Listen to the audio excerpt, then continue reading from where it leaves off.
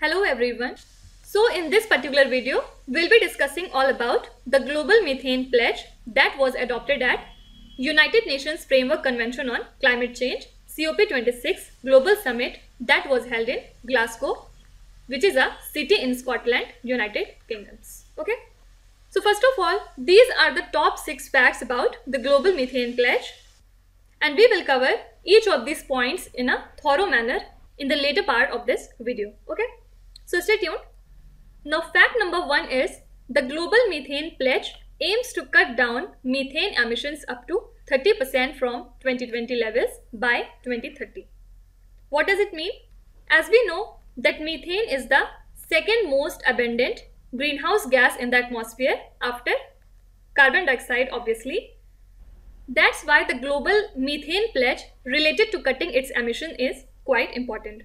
And the global methane pledge is an effort led jointly by USA and the European Union. So around 104 countries have signed the pledge so far and if it implemented globally, the pledge is expected to reduce the global warming by 0.2 degrees Celsius by the year 2040 as compared to the projected temperature rises. And the earth is currently 1.2 degrees Celsius hotter than it was before the industrial revolution era. So that's why reducing the methane is quite important. Also, it is the demand for our survival. Okay. Now, next fact is India did not sign global methane pledge. Let's understand this. Actually, the countries India, China, Iran and Russia did not sign the global methane pledge. Instead of the fact that China, Russia and India are the top three emitters of methane in the world. And India is currently the third largest emitter of methane and this is mainly because in our country agriculture accounts to 15% of India's economy. And not only agriculture, also we have a large livestock population which makes the process of reducing methane emissions generated by cows and manure a great challenge. So in the year 2019, Ministry of Coal asked the state-run Coal India Limited to produce 2 million metric standard cubic meters per day of coal bed methane gas in next 2 to 3 years and this coal bed methane gas just like shale gas is extracted directly from the rock. So obviously the methane is held underground within the coal and it is extracted by drilling into the coal seam and removing the underground water. So this resulting drop in pressure causes methane to be released from the coal. So that's why reducing methane and controlling it is just a great challenge for India. Okay. Now fact number 3 says methane is a greenhouse gas causing 25% of warming in the world. So the United Nations says that 25% of warming in the world is caused because of methane gas because it is a greenhouse gas and obviously its presence in the atmosphere increases the earth temperature. And methane is lighter than air. Also it is colorless odorless and flammable gas. So since it is responsible for 1 by 4th of global warming in the world that's why we have to take such a step like global methane pledge okay now fact number 4 says 60% of methane emissions come from human influence sources.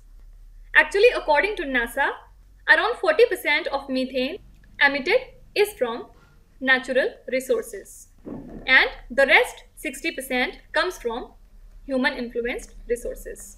So what exactly we are meant by human influenced resources? So these are for example livestock farming, then biomass burning is quite common now agriculture, etc. And there are various sources of methane including natural and human sources. And the human sources of methane include, for example, landfills, oil and natural gas systems, coal mining, then agricultural activities and wastewater treatment. Also important point is the oil and natural gas sectors are the largest contributors of human sources of methane. Okay. Now fact number 5 says methane has global warming potential 80 times greater than carbon dioxide. Actually according to the International Energy Agency, the lifetime of methane is much shorter because it lasts for just 12 years. On the other hand, the lifetime of carbon dioxide is for centuries. So the scenario should be that carbon dioxide should be more effective than methane. But methane is a much more potent greenhouse gas and this is because it absorbs more energy while in atmosphere. And the global warming potential of methane is nearly 80 times greater than the carbon dioxide and this is only because methane has more heat trapping ability. Okay, now let's see one more thing. A gas is actually called a greenhouse gas only and only if it absorbs infrared light and methane absorbs most of the infrared light. Although all greenhouse gases compete to absorb this infrared light, but methane wins over all the other gases. So it absorbs the infrared lights that water vapor leaves behind and thus contributes to higher climate change. Also do remember that water vapor is the only greenhouse gas that traps infrared light and does not contribute to climate change. Okay, so this is quite important.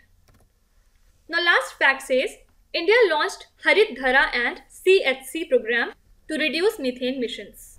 So yes, Indian Council of Agricultural Research developed Harit Dhara to reduce the methane emissions and this is an anti-methanogenic feed supplement which cuts down cattle methane emissions by 17 to 20 percent and also it can result in higher milk production.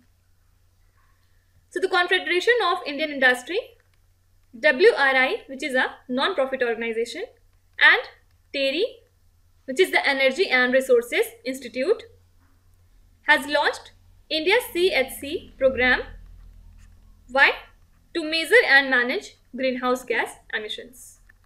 So these are some of the important initiatives taken by India to reduce its methane emissions. Okay. So that's it for today. I hope you have liked the session.